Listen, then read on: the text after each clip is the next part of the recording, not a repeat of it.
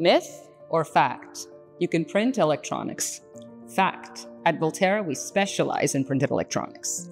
Think about it like 3D printing, except instead of using raw plastics to create your components, we use a highly specialized silver nanoparticle ink to create the traces and the pads of a circuit board. We currently have two products, our flagship, the Voltera V1, which is used for prototyping conventional circuit boards in classroom settings and in hardware development workshops, and Nova, used for research and developers that are pushing the limits of electronics. So things like flexible circuitry, wearable circuitry, and biocompatible electronics for devices of tomorrow.